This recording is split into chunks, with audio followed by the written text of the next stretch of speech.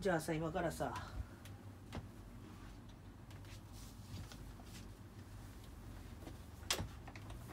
怪しいピアノ練習用 D 動画作るわ。いいですか？こんにちは。ぽくぽくピアノ教室の中西です。今日はあやみちゃんのために赤レンガの門の向こうの練習用動画を作りたいと思います。よろしくお願いします。ちょっとちょっとキャラちょっとキャラがおかしかった。じゃ頑張って練習してみましょう。まず最初の4小節です。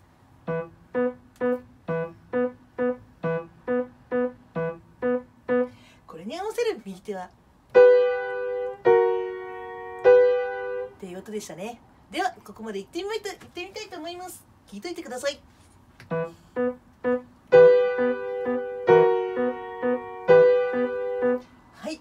の門の通り赤レンガの門の向こうにあゆみちゃんは一体何があると思いますか？さあどんな風景が広がるんでしょうか？ではもう一回弾いてみたいと思います。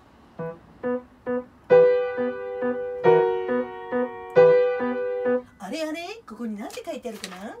怪しい漢字でって書いてあるぞ。怪しい漢字。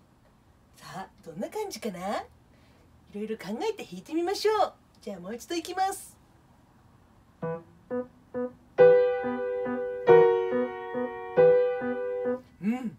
ちょっと怪しくなってきたぞ。ではもう一度。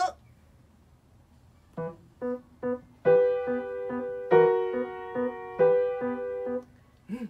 ちょっともうちょっと怪しくなってきたぞ。よしあやめちゃんもやってみましょう。それでは次の4小節です。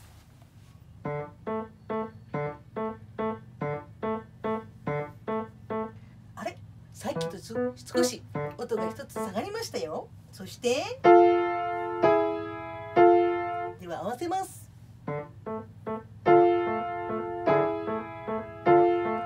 あれあれやっぱりここも怪しい感じで。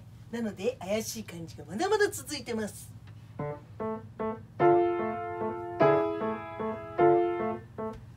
う一度いきます。あ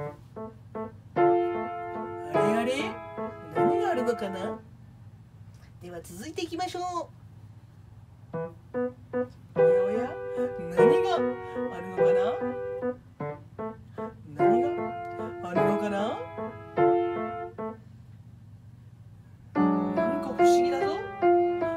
不思議な音がします。この次は。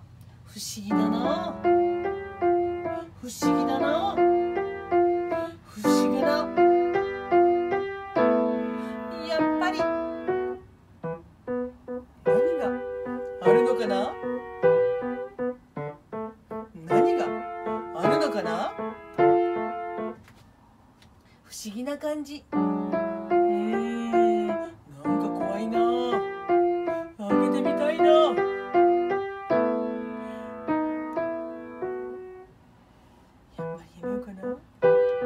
でもちょっと気になるな。やっぱり気になるな。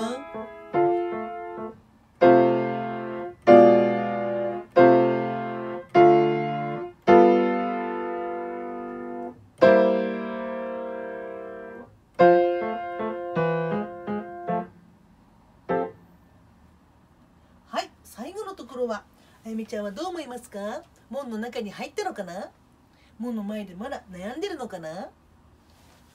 先生はうーんそうだな。門の中に入ってるかなって思います。入ってみたんだけど案外綺麗なお花畑が広がってたりして。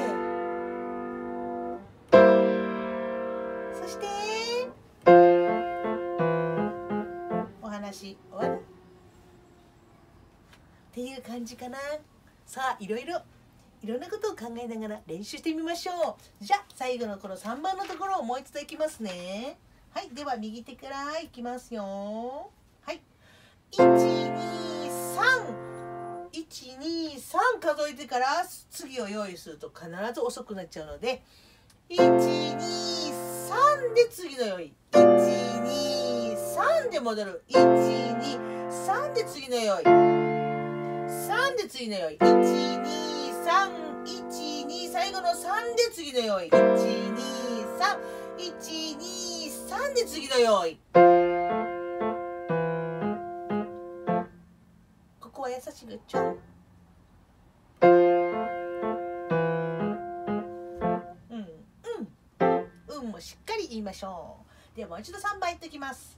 123 123 123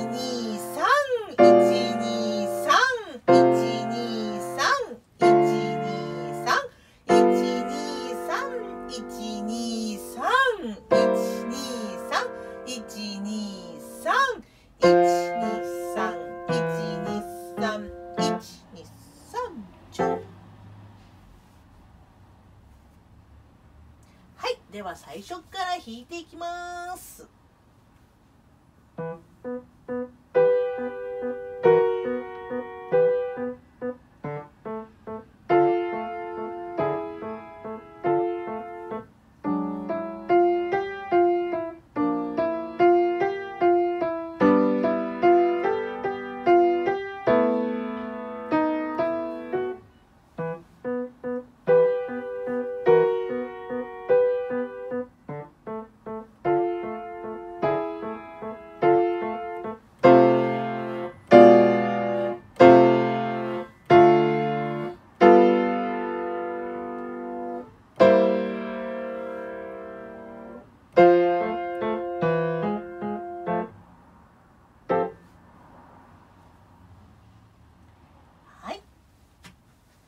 ではお家でもしっかり頑張って練習してみてください。よろしく。